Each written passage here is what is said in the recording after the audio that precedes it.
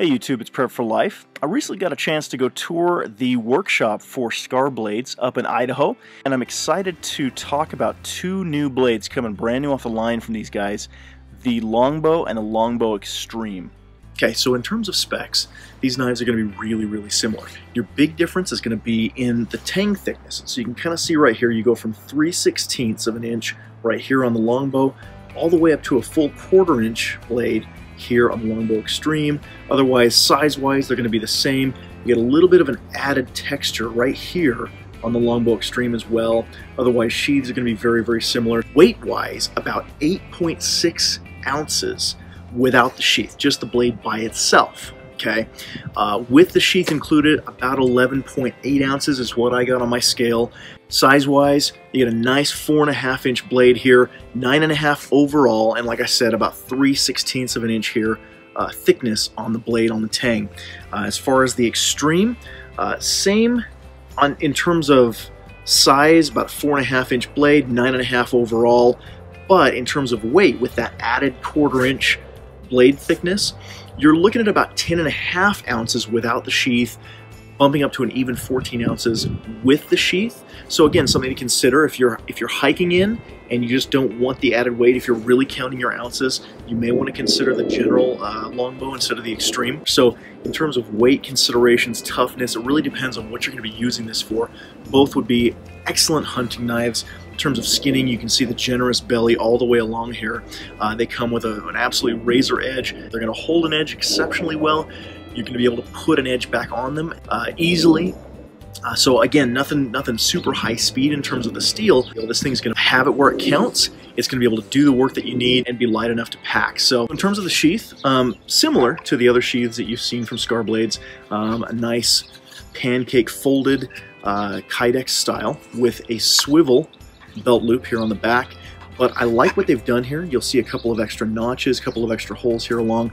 I feel like there's a, a, a, few more options in terms of mounting this. If I wanted to, you know, maybe actually put it right here on, on my harness. Um, with like with all the others, you'll have a little hole here for drainage. Uh, should should be you be out in the rain. And in terms of fit, just going to slide right in and have a nice positive uh, grip in there, but again, using my thumb to pull it out, it's perfect. These are full tang knives, okay? So they're, they're very beautiful. I love the design. Got a nice piece of jimping right there on the back to be able to grip up and do some work uh, some fine work, but you're also looking at, you know, being able to grip back on this and do a little bit of chopping. I don't know that I would do this uh, as a full survival knife with batoning. It certainly can. It's, it's tough enough to withstand that, like all the other knives that Scar does. It's going to do a differential heat treatment along here. So uh, when he throws this in, it's going to be upside down. The blade, the flame is going to be coming down to uh, to heat treat the blade especially, but leaving the spine a little bit more pliable to take a beating.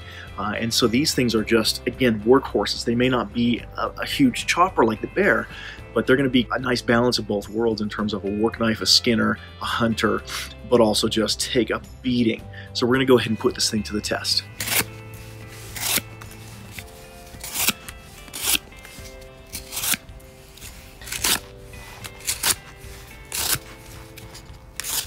That's just ripping right through. No issues at all. I just draw the blade along. I mean, that's just not even fair. You see that? Just right through. No problem. Just no issues. And obviously that comes with a little more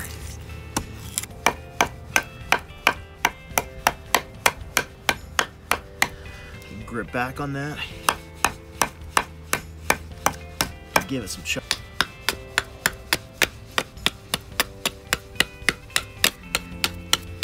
Just no problem at all. That's great, man.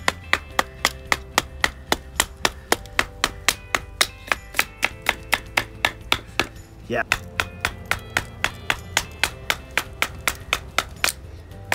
Ha. Right through. Yeah.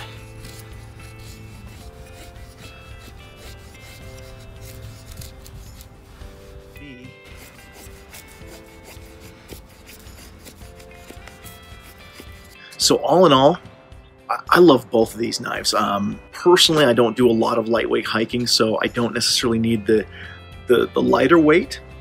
So I just love the ruggedness, the, the toughness of the Longbow Extreme. I think cost-wise, you're looking at about 150 if I remember right, for the longbow, and about 180 for the longbow extreme, again with the added uh, thickness and, and, and, texture here on the handle. Um, again, so the, the, the price is not going to be that much different between the two blades. It's really, again, what you're, what you're needing uh, out of a knife. Um, but me personally, I just love I love this knife itself. I love the toughness. In terms of color, guys, don't think that these, these are the only options. Uh, like all of the Scar blades, you're going to have a, your, your choice of coating. You're going to have your choice of colors and, and handle. Uh, give them a call.